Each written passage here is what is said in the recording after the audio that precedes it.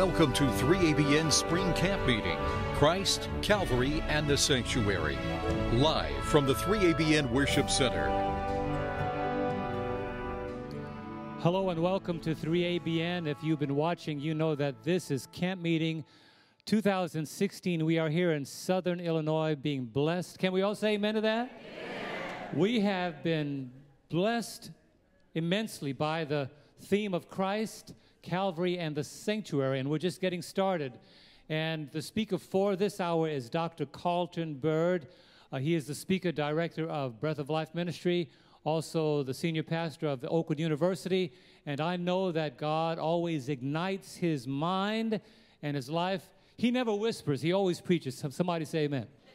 He's a preacher, he's not a whisperer. And what he does is he imparts, rightly divides the word of truth to the glory and honor of the Lord. If you're in driving distance, we'd like to invite you to come to 3ABN. A few more days are remaining here in camp meeting, and we know that each message builds on this beautiful theme of reflecting and uplifting Jesus Christ.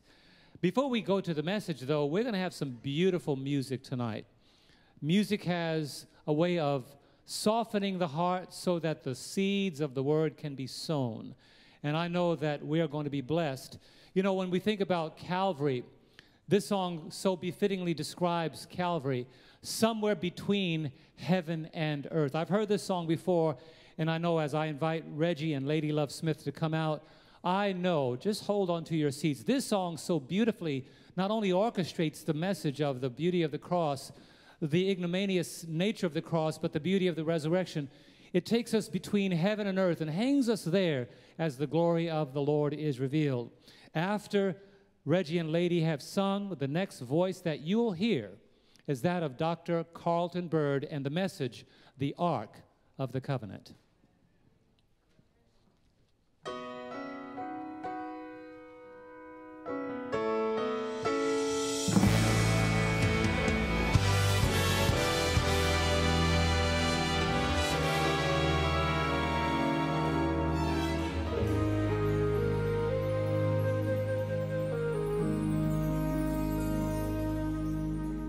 Suspended above the world that he made and below his home in the sky God in flesh came down to man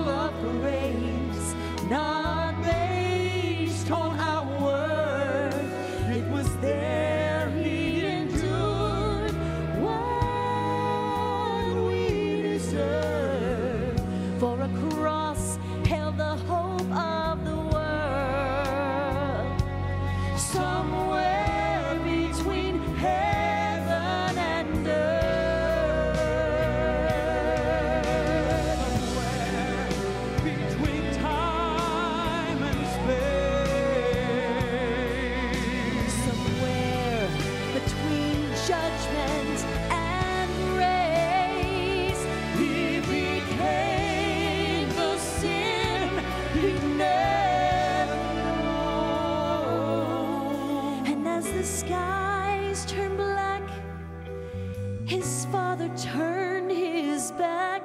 and earth to the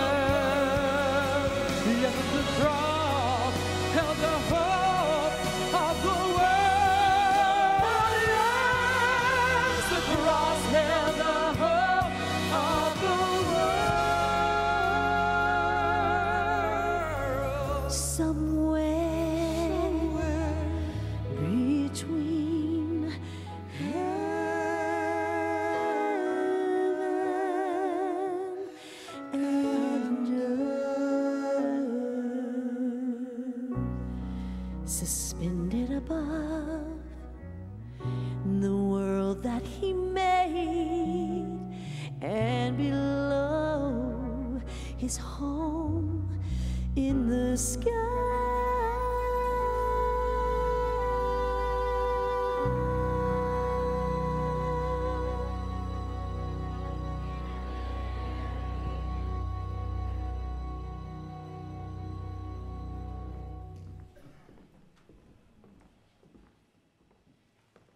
Let's give Brother Reggie and Sister Lady Love another hearty amen. Beautiful, beautiful, beautiful. I'm back, and I'm grateful to see you uh, once again as we go into the Word of God this evening. Uh, this second assignment is now entitled The Ark of the Covenant. And so I will invite you to take your Bibles and turn with me to the book of Exodus.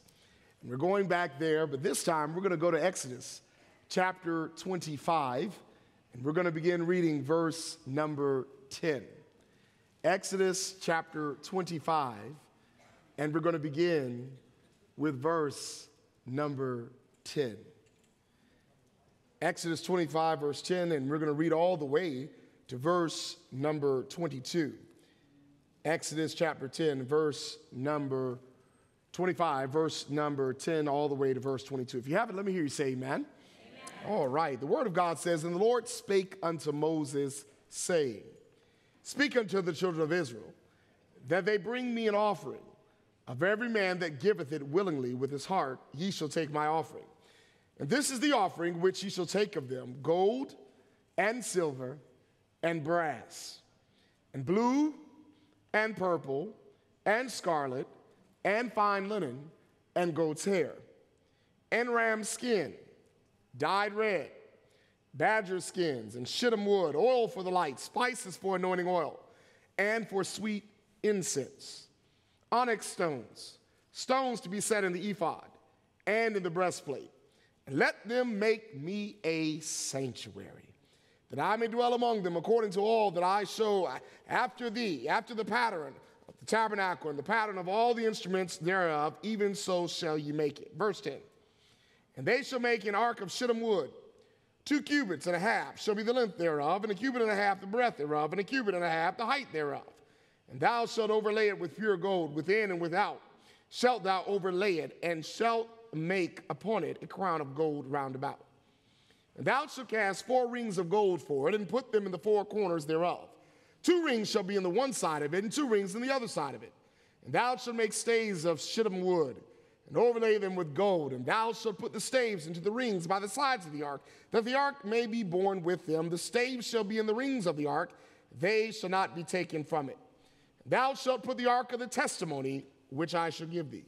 Verse 17 Thou shalt make a mercy seat, a pure gold. Two cubits and a half shall be the length thereof, and a cubit and a half the breadth thereof. And thou shalt make two cherubims of gold, a beaten wood work shalt thou make them in the two ends of the mercy seat. And make one cherub on the one end, and the other cherub on the other end. Even of the mercy seat shall ye make the cherubims on the two ends thereof. And the cherubim shall stretch forth their wings on high, covering the mercy seat with their wings, and their faces shall look one to another. Toward the mercy seat shall the faces of the cherubims be. And thou shalt put the mercy seat above the ark, and in the ark thou shalt put the testimony that I shall give thee. Verse 22 And I will meet thee with thee, and I will commune with thee from above the mercy seat. from between the two cherubims, which are upon the ark of the testimony, of all things which I will give thee in commandment unto the children of Israel. The ark of the covenant. Father God, now stay with us. Breathe on us. And may we feel your power and sense your presence. In Jesus' name, amen. amen. The story is told of an old cowboy who one Sabbath morning entered a church just before worship services were to begin. Although the old man and his clothes were spotlessly clean, they were meticulously clean. The old cowboy wore, wore jeans, wore a denim shirt, and he wore boots that were very ragged and worn. In his hand, he carried an old, worn out hat and an equally worn out Bible. Now, the church he entered in was in a very upscale and exclusive part of that city. It was the largest and it was the most beautiful congregation that the old cowboy had ever seen. The people in the church were all dressed up, dressed to a T, suits on, shirts on, dresses on, bow ties on. They looked good. They had expensive clothes on and accessories to match. As the cowboy took a seat in that church, the people in the church moved away from the cowboy. No one greeted him. No one spoke to him. No one welcomed him. They were all appalled. They were all upset at his appearance, and they didn't attempt to hide it. The preacher gave a long filled sermon that Sabbath, and he preached with fire and brimstone and a stern lecture on how much money the church needed to do God's work. As the old cowboy was leaving the church, the preacher approached him and he asked the cowboy, Listen, do me a favor. He said, Before you come back in here in this church again, have a talk with God and ask him what he thinks would be appropriate attire for worship. The old cowboy assumed, assured the preacher that he would do just that. The next Sabbath, sure enough, the old cowboy came back to the same church. And he came back wearing the same ragged jeans, the same old denim shirt, the same boots and hat. One more time, once again, he was shunned and ignored by the congregation. After church, the preacher approached the man again and said, Mr. Cowboy, I thought I told you to speak to God about what you should wear before you came back to church. The old cowboy replied, I did.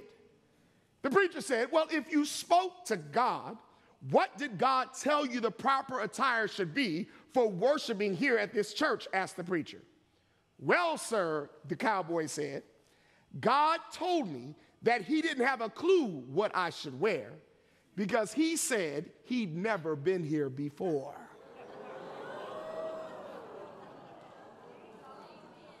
Let me be clear tonight. If God isn't here, it isn't church. If God isn't here, we're not worshiping. If God isn't here, we're wasting our time. The most important thing we can have in worship is that God be in our midst. Do I have a witness in this place? God says in Exodus 25, verse number 8, and let them make me a sanctuary that I may dwell among them. And according to Exodus chapter 26, verse number 1, this sanctuary was called a tabernacle. And for God to be in the midst was one of the principal messages of the tabernacle.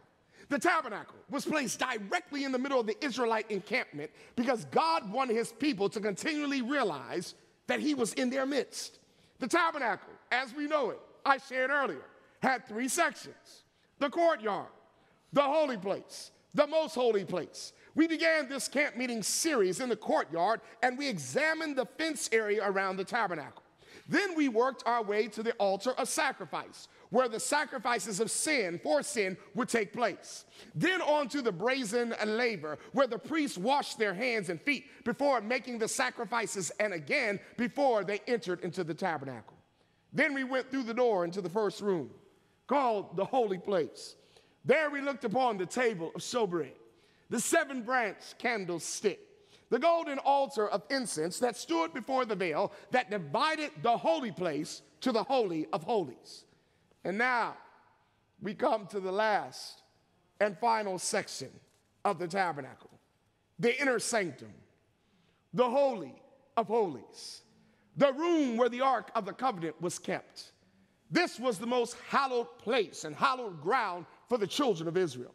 This was where God was in the midst. This was where God dwelt. This was the room where the only the high priest could enter, and he could only enter once per year, and that was on the Day of Atonement. On this day, the only person allowed in the tabernacle was the high priest. On this day, no one else could offer any sacrifices. On this day, only the priests would make a special sacrifice for the sins of the people. There were other sacrifices made throughout the year. In fact, there were hundreds of them, there were thousands of them. But if the high priest failed to make atonement for the people on this day, all those other sacrifices would have meant nothing. The work in the most holy place symbolized the third and final phase of Jesus' ministry. The purpose on the Day of Atonement was to cleanse both the sinner and the sanctuary. This cleansing was achieved through the work of the most holy place. Now, the major furnishing in the most holy place was the Ark of the Covenant. And that's my assignment preach on the Ark of the Covenant. So I'm not going to delve into the Day of Atonement, but it's be known that all of the ceremony on the Day of Atonement was centered around the Ark of the Covenant. It was a beautiful piece of furniture. The Ark of the Covenant was a work of art. And if it existed on earth today, it would be considered by many priceless. Collectors would pay millions of dollars to be able to see it, to touch it, and to own it. But no one could get close to it. No one could look at it, or they'd die. It was hidden away in a room so that no one but the high priest could enter. Even if he had, if he had to conceal its beauty, by the smoke of the incense burned, or as he was warned, he too would die. Because you couldn't touch it or you'd die, the only way the Ark of the Covenant could be carried was by staves placed in its rings. And as it was carried along, it was covered with several layers of skins and sheets. The Ark of the Covenant, it was the chief and most sacred of all objects connected with the tabernacle. Everything else was subordinate. Everything else was second to it. Its preeminence is further pronounced in its being the first thing connected with the tabernacle that God spoke to Moses about.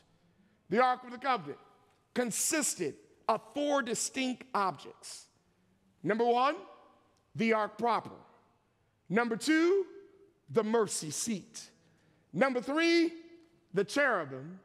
And number four, the Shekinah. Let's talk about each of these objects. First, the ark. The ark was a box or a chest made again of acacia wood. It was overlaid within and without with pure gold and having a crown of gold upon the top.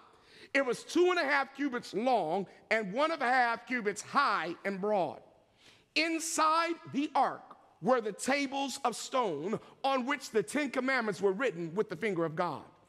This is why it was called the Ark of the Covenant. Because the Ten Commandments were the basis for the covenant made between God and the children of Israel, in which God promised to be their God and to regard them with favor on the condition that they had to obey Him. If obedient, the commandments would be a testimony in their favor. If disobedient, the commandments would testify against them. This is why sometimes the ark was called also the ark of testimony. Number two, the cover of the ark or the cover of the sacred chest was called the mercy seat. The mercy seat signaled to cover sin in the sense of forgiving sin. The mercy seat was the place where God Himself showed Himself to be merciful in forgiving the sins of the people. I must admit, I like this part when we talk about the mercy seat because mercy is one of God's most precious attributes. Mercy is God's unmerited favor. Mercy is when you get what you don't deserve. Mercy is what woke you up this morning. Mercy let me eat something this morning. Mercy kept my heart beating while I was sleeping all night last night. Mercy kept me from getting in a car wreck on my way to 3ABN. Tonight, I just want to spend a little time talking about God's mercy. Because we're living in an age, we're living in an era, we're living in a time where people act like they don't need any mercy.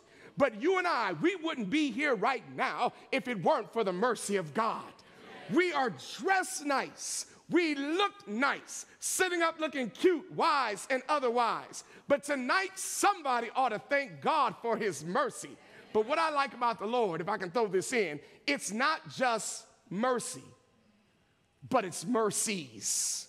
Jeremiah didn't speak in the singular when it came to God's mercy, but he spoke in the plurality of God's mercies. He said, The mercies of God are new every morning. Paul also spoke in plurality of mercies. He didn't reduce God to one mercy. He mentions mercies in plurality. He said, I beseech you, therefore, brethren, by the mercies of God, that ye present your bodies a living sacrifice. Mercies, which means it's not that God has given you a second chance, but it's the fact tonight that God has given you chance after chance after chance after chance. Somebody's gonna get this in a minute. It's mercies. And it's not the people who are the holiest in the room that need to praise God, but it's the people who've done all kinds of stuff that need to praise God. Because you know that if God had dealt with you according to what you deserve, if God had dealt with you according to your sin, you wouldn't even be right here, right now. And you ought not care what anyone says or thinks, but you ought to thank God for his mercies. Somebody, you got your car through the mercies of God. You got your house through the mercies of God. In fact, somebody should be walking the street crazy right now. In fact, somebody could be in jail right now asking the warden, can they watch 3 ABM? 3 ABN, but God gave you mercy. So tonight, you're living in mercy. You're driving in mercy. Your house is mercy. Your job is mercy. Your marriage is mercy. Your relationship with your son, your daughter, your family, your friends, it's mercy. Nothing but the mercies of God. Anyone who's been through what you've been through should have lost it by now. But when your mind was falling apart, thank you, Jesus. And you were talking out of your head, mercy came and it rescued you. You went to bed weeping at night, but mercy woke you up with joy in the morning because mercy rocked you to sleep in the middle of the night. Tonight, somebody ought to thank God for mercy because mercy gave you another chance. Mercy gave you help. Mercy gave you strength. Mercy spared your life. And I don't know about you, but I will bless the Lord at all times, and his praise shall continually be in my mouth. There's mercy over my children, mercy over my family, mercy over my finances, mercy over my body. Mercy, mercy, mercy. I will praise him because I'm a miracle of mercy. You're looking at a miracle. If you only knew what I've been through in my life, you would understand why I talk about the mercies of God like I do. The ark was the declaration of God's holiness and purity. And because of this, most people associate the Ark of the Covenant, however, with judgment and wrath. Rightly so, because actually, it's an intimidating and almost scary reminder of God's power and our helplessness. But, friends, that wasn't the entire message God wanted to communicate to us. Because right there, right on the ark, there is on this beautiful yet unapproachable throne of God, right there was the mercy seat. The place where the blood of an innocent sacrifice could cover a man's sin. Tonight, there are people in this world who don't think they need such a thing. There are folks who believe that they can cover their sins by their own good deeds. They feel they can do good enough to outweigh the bad that they've done. But, friends, tonight, all of us have sinned and come short of the glory of God. all of our righteousness in the sight of God is but as filthy rags. If it were not for God's grace, if it were not for God's mercy, if it weren't for God's blood, tonight, where would we be? In the most holy place. Mercy was placed over the law because mercy transcends justice. The ark with its justice, the mercy seat with its mercy, were both needed to reveal the full character of God's dealing with men. Mercy without justice is weak sloppiness. Justice without mercy is moral cruelty. We need justice and mercy. We need law and grace. We need religion and relationship. We need cognition and emotion. We need information and inspiration. We need integrity and intensity. We need amens and hallelujahs. We need holy scriptures and the Holy Ghost. Praise God for justice, but praise God also for his mercy.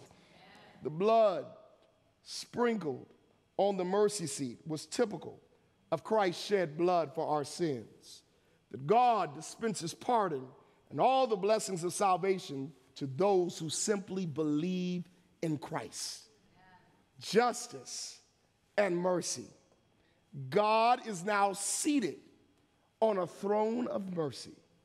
And though our sins may be as scarlet, we may, without the intervention of a minister, without the intervention of a pastor, approach God and be invited to come to the mercy seat. With this, I'm reminded of that old hymn Come, ye disconsolate, where ye may languish. Come to the mercy seat. Fervently kneel. Here, bring your wounded hearts. Here, tell your anguish, because earth has no sorrow that heaven cannot heal. In letters of blood, in his own precious blood, Jesus, our great high priest, has written on the mercy seat in heaven the crowning gospel invitation He that cometh unto me, I will in no wise cast out. Which means I don't have to approach God through another man in a window. I don't have to go confess my sins to another man in a window. I don't have to go pray and tell all my business to another man in a window. But tonight I'm so glad that I can go boldly to the throne of grace, that I can go boldly and directly to Jesus. Because Jesus says, if we confess our sins, he is faithful and just to forgive us of our sins, and he will cleanse us from all unrighteousness. Number three, the cherubim. Now, the mercy seat was surrounded by the golden cherubim, one standing on each end. One wing of each angel was stretched forth on high, while the other wing was folded over the body. These were tokens of reverence and humility. Ellen White says that the position of the cherubim with their faces turned toward each other, looking reverently downward toward the ark, represented the reverence with which the holy heavenly hosts regarded the law of God and their interests in the plan of redemption. Number four, the Shekinah. Above the mercy seat was the Shekinah, the manifestation of God's divine presence. And from between the cherubim, God made known his will. Divine messages were sometimes communicated to the high priest by a voice from the cloud.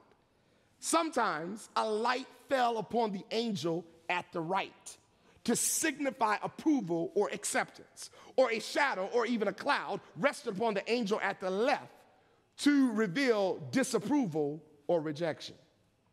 The law of God, God's law enshrined within the ark was the great rule of righteousness and judgment.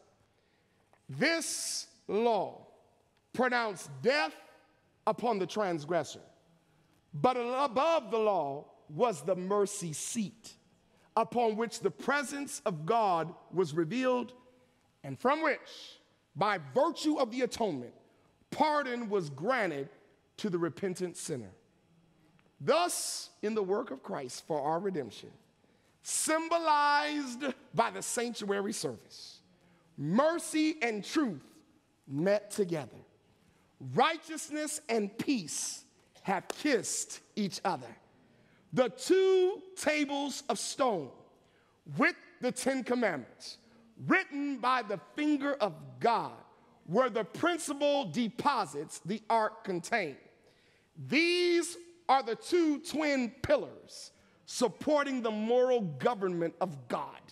They remind us that righteousness and truth are the foundation of God's throne, attributes which fallen man can look for nothing but condemnation. But tonight, praise be to God. Praise be to God that that's not the whole story. Praise be to God that the mercy seat is sprinkled with blood. And that speaks of God's mercy. Righteousness and truth are very still, as they ever shall be, the foundation of God's throne. And we still hear the words, the soul that sinneth, it shall die. But the wages of sin might be death. But the gift of God is eternal life through Jesus Christ our Lord. So praise tonight be to God for the blood that sprinkled on the mercy seat, because only the blood of Jesus can atone for our sins. My blood can't do it. Your blood can't do it. Our blood can't do it, but only the blood of Jesus can atone for our sins. Only Christ, our great high priest, has entered the true holy of holies and with his own precious blood sprinkled on the mercy seat. So that means the greatest transgressor, the greatest sinner, the chief sinner of all can now approach his throne without dismay and obtain forgiveness for all of his sins there is a fountain filled with blood, drawn from Emmanuel's veins. And sinners plunge beneath that flow, lose all their guilty stains. The Ark of the Covenant, the mercy seat. When the enemy of your soul rises up against you, let me remind you that the blood of Jesus covers us like a shield. And that enemy who would destroy our soul is destroyed because no weapon formed against you is going to prosper. If God be for us, who can be against us? The story is told of a family that was involved in a very serious car accident. Timmy the younger of the two brothers involved, was badly injured and he needed a blood transfusion. Timmy's big brother, whose name was Johnny, was almost eight. He was the perfect match. He was the perfect blood type for his brother. So Johnny and Timmy's father sat down with Johnny and he explained to Johnny that his little brother Timmy was going to die but if Johnny would give his little brother some blood, that Timmy would live and be just fine. Johnny sat down for a minute. He thought about it for a while. And then he said, Okay, Dad, I'll do this for my brother. They took Johnny into the hospital operating room. They hooked up a needle to his arm, and the blood from his body began to flow from his body to his little brother Timmy's body. Everything went well. The nurse removed the needle from little Johnny's arm. Johnny then looked at his daddy, and with a tear in his eye, he said to his father, When do I die?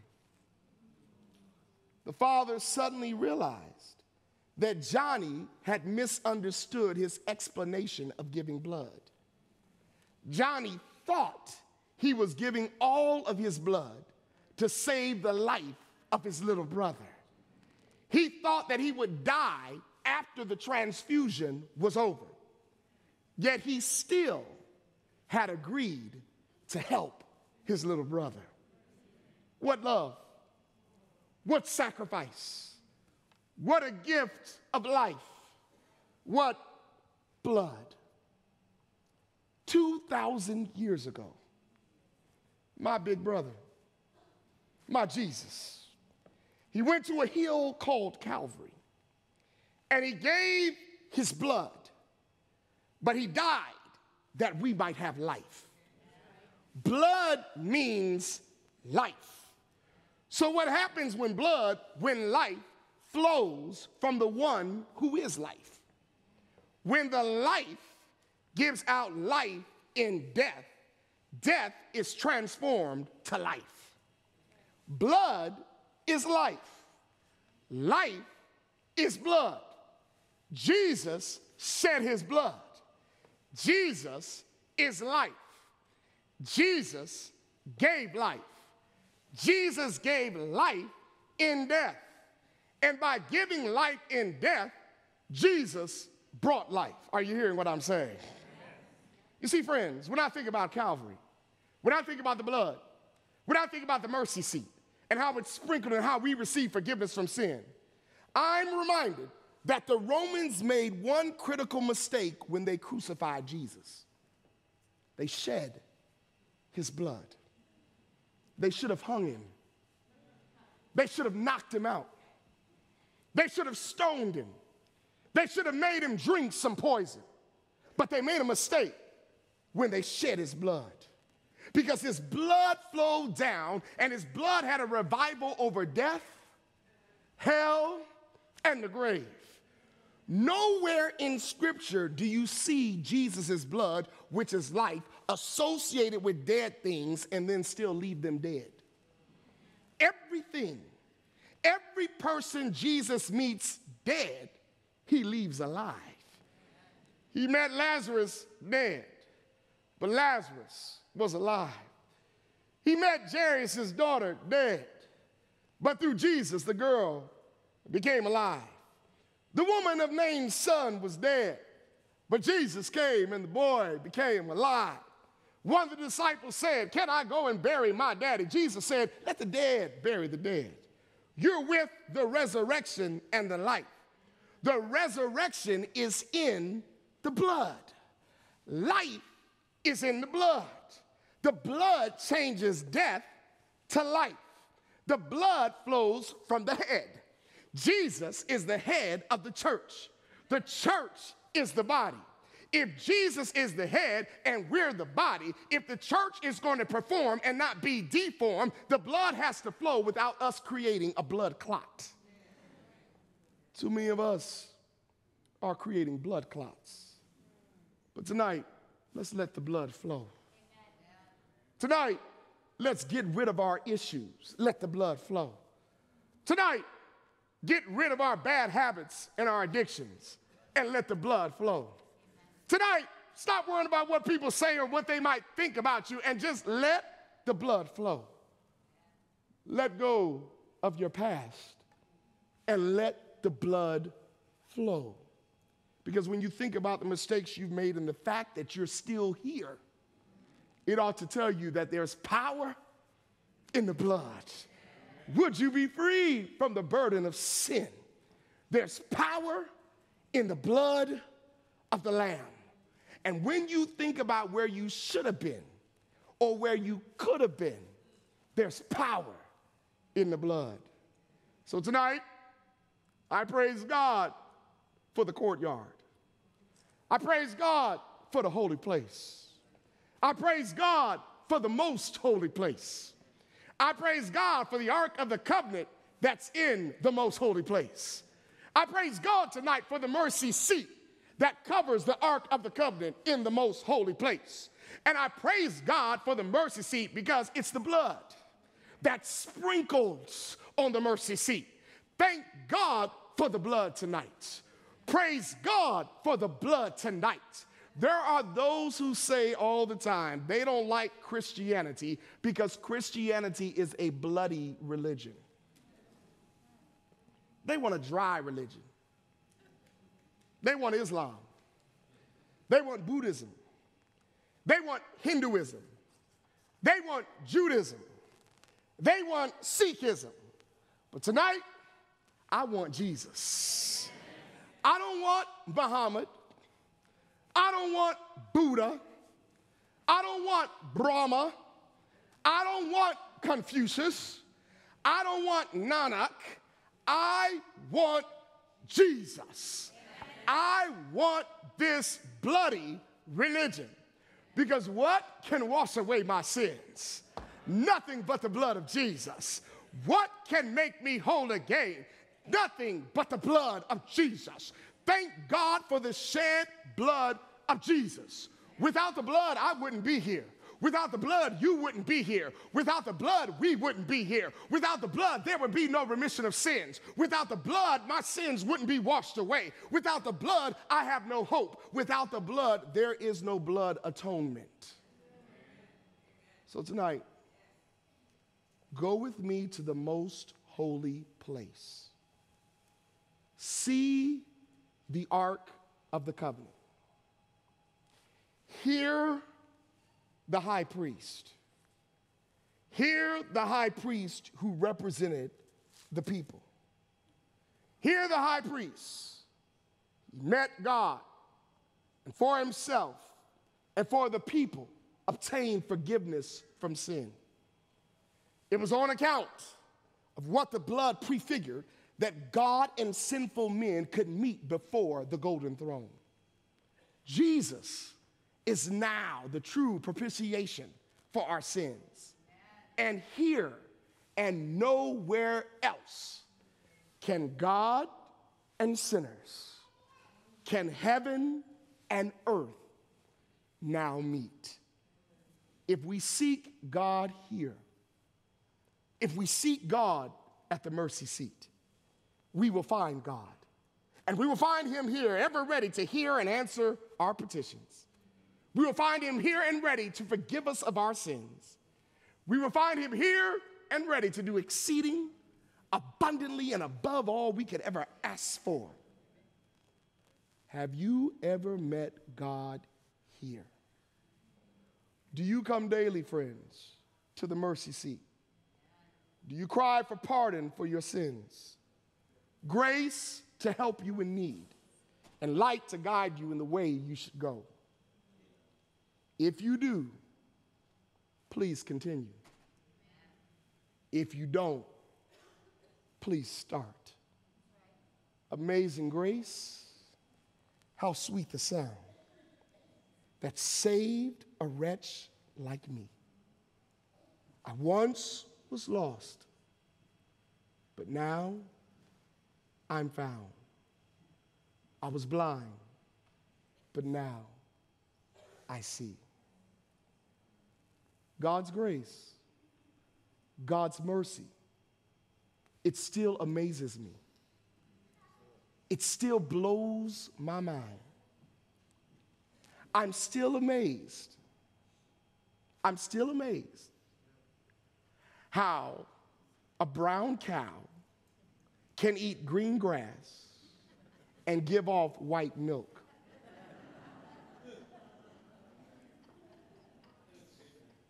Just like I'm amazed how this brown soul can be dipped in red blood and come out white as snow.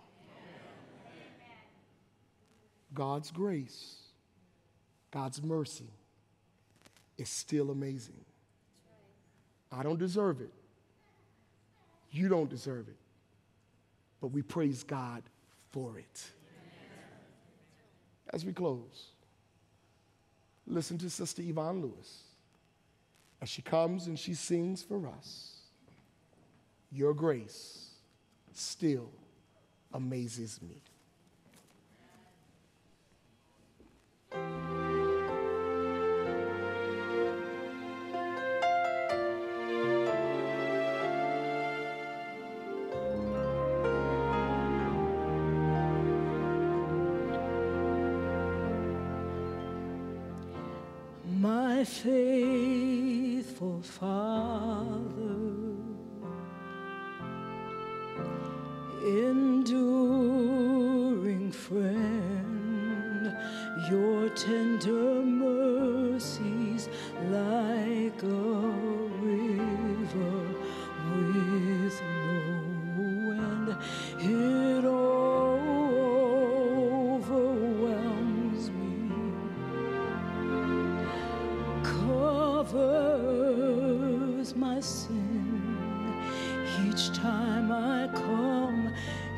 Into your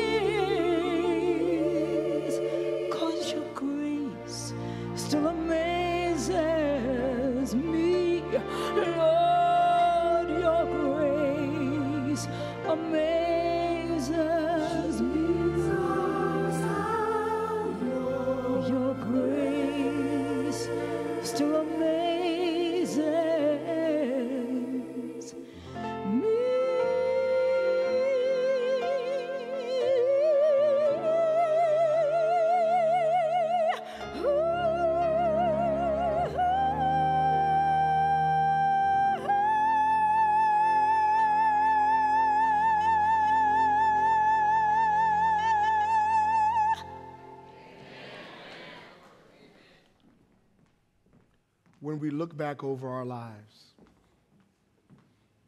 we must thank and praise God for His grace and His mercy. It was in the most holy place that the sinner and the sanctuary were both cleansed. Yes, the Ten Commandments were there. Praise God for Jesus' blood, symbolic of his grace and his mercy. All that I am or ever will be is by the grace, the grace of God. Tonight, if you accept God's gift of grace, if you accept God's gift of mercy, his unmerited favor, I invite you now to stand with me as we pray.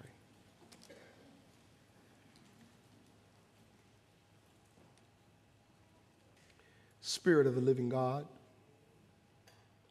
fall afresh on us. Make us, mold us, fill us, use us. Spirit of the living God, fall afresh on us tonight. Father, we want your grace and we need your mercy. So give them both to us. I pray for every individual in this place tonight, for everyone who is watching this evening. As one loud voice for the collective voice tonight, we simply say, Thank you. Lord, we look forward to the day because of your grace and because of your mercy that one day we will get what we don't deserve. We will get heaven. We will get you. And so we promise, oh God, because we love you to keep your commandments, recognizing blessed are they that do his commandments, that Lord, they may have a right to the tree of life and may enter in through the gates into the city. We're clear tonight. We are not saved because we keep your commandments, but we're saved tonight because of the blood of Jesus. We love you. We praise you. We worship you and we adore you. In Jesus' name we pray. Amen.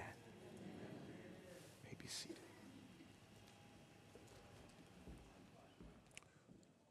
We thank Pastor Byrd so very much for a powerful message. And I know you're learning a lot about the sanctuary and the sanctuary service. As we said before, when the children of Israel, who were pretty much illiterate, went to church, they were also going to school because the signs, the symbols, the colors, the textures, the tastes, the flavors, the smells of the sanctuary all had meaning for them. When I was younger, I ran into a word that fascinated me. The word was propitiation. Big, long, $25 word that talked about what Christ was doing for his people. And I found out years later that propitiation simply means a leaning towards. Now, that's very, very important because when you go to God, and we'll talk about this a little more on Sabbath morning, God is not standing back like you've got some sort of disease. The Lord is actually leaning in your direction. That's what the propitiation is. Christ has made it so that heaven is now leaning towards you to hear you, to help you, to comfort you, to bless you, to save you. So you don't have to beg God for mercy. He's leaning in your direction to give you mercy. He can't wait to give you grace. He can't wait to hear your prayers. He can't wait to bless you. The Bible says, as an earthly father is willing to give good gifts to his children, so your heavenly father is even more willing to give to those who ask. Isn't that a great thing? He's just waiting to give you your Christmas present, just waiting for you to ask and it is ready for you. You cannot run too far. You cannot run too fast. You cannot outlast him. He's ready, willing, and praise God, more than able to save to the uttermost them that come to him by Jesus Christ. Doesn't that make you glad? Doesn't it make you happy?